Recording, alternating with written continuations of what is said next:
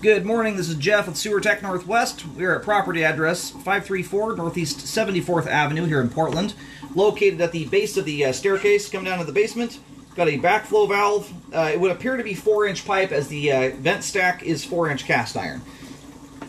We're going to check the overall condition and serviceability of the sanitary sewer line. Water is running, and we're going to zero out the foot counter here at the base, right inside the uh, backflow preventer. Off we go here. And it looks like the line's swapping over to cast iron immediately upon access right up ahead here.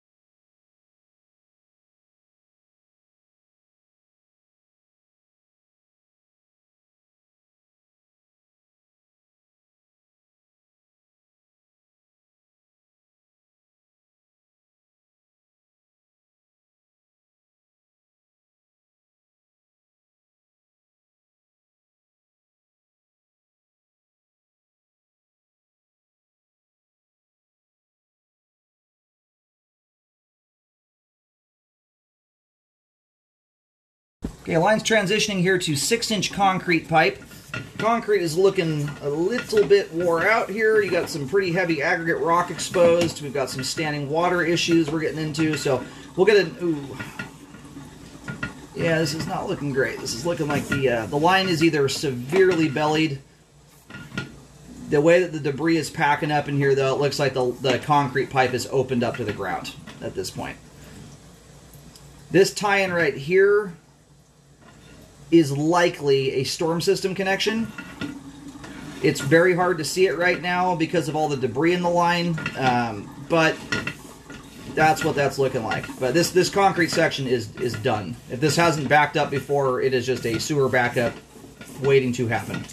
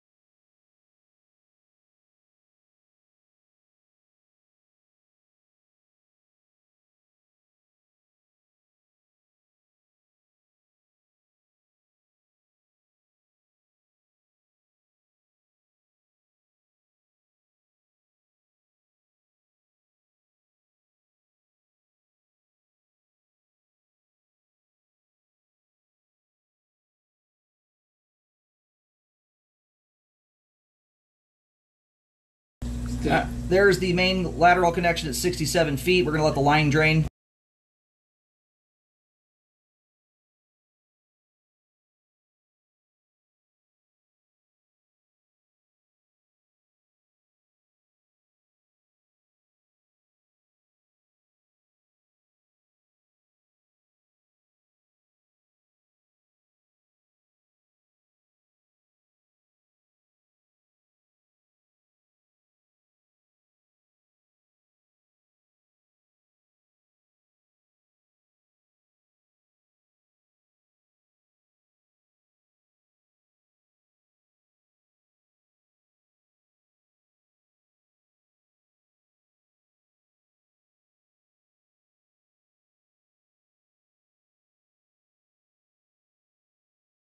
Okay, so here at 52 feet, my camera right now is upside down. Um, if you were facing the house from the street, facing the front door of the house from the road, that Y connection right there would be coming in from the right side.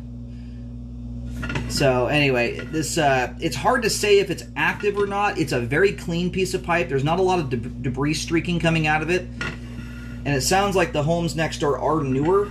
Um, they were built. I sounds like about 2010ish, somewhere in that ballpark. So very, very much after the outlaw party lines. So it may not be active at all, but I am going to check. I'm going to go locate and get it marked. And we're just past the transition to clay pipe. We might get lucky here. That may actually fall into the street.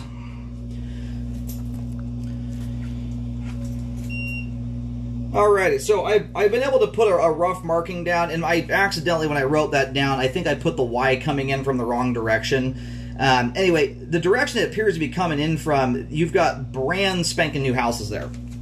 Like, they look like they were built, like, in the last year. Um, so highly unlikely they got away with being able to have some kind of party line. And I am, if you can see where I parked the camera, I parked it right here to try and get that antenna as close to about the middle of that Y as possible. I'm picking that that signal up just past the face of the curb. It looks like it's just into the roadway where that's at. And that is indicative and normal in this era. Generally, when you see the clay transition, that's often happening right at the face of the curb. So that that's that party line on its own there may not be anything that even falls into homeowner territory. But either way, the line needs to be dealt with. It's in very, very rough condition at this point, and a very high likelihood it's going to get a backup at some point. So I'm going to map this all out with green paint here.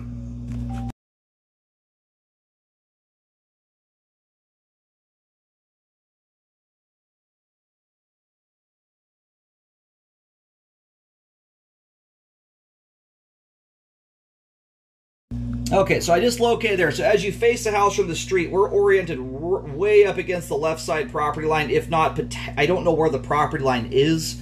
So I don't know if we've actually crossed or not, but it's one of those that kind of flirts with the possibility of it. Um, where I just located there was a couple feet back from the curb in the grass curb strip area, about six foot eight inches deep.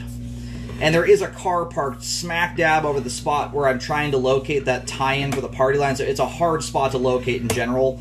Um, so that marking you're going to see just past the curb there, take that with a grain of salt to an extent. It's somewhat rough. I can't get smack dab on top of the spot there to locate it because of the vehicle. Yeah, it looks like you've got big, huge river rocks coming into the sewer line here. Okay, right now, um, again, there's going to be some markings here that are somewhat, you're going to have to consider somewhat rough. We're going through kind of a, there's a bunch of foliage right on the property line, the left side of the property line. The line's going underneath that right now, so I, it's another spot where I cannot get my locate wand right over the top of the line.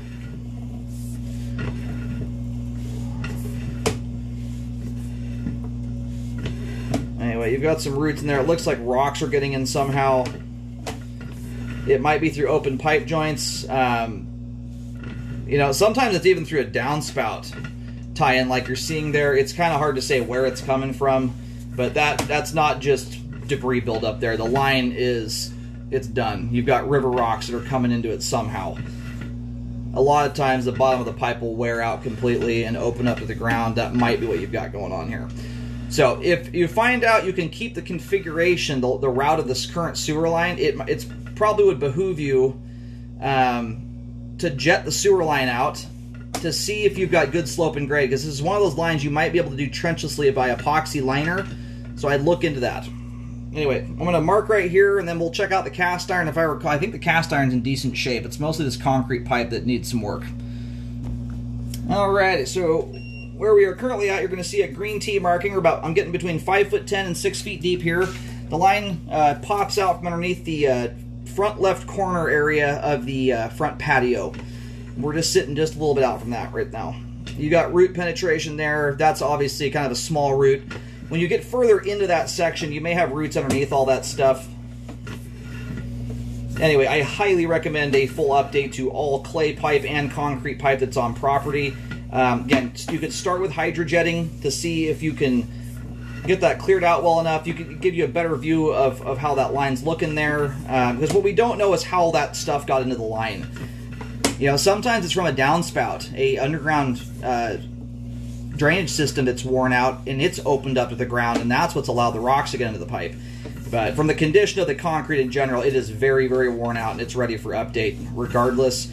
Um, the biggest advantage in jetting is you can see as to whether or not you've got the skeleton to work with for doing an epoxy liner, which is a trenchless repair system, or, so, or if if not almost entirely trenchless. It does depend on the kind of access point you have.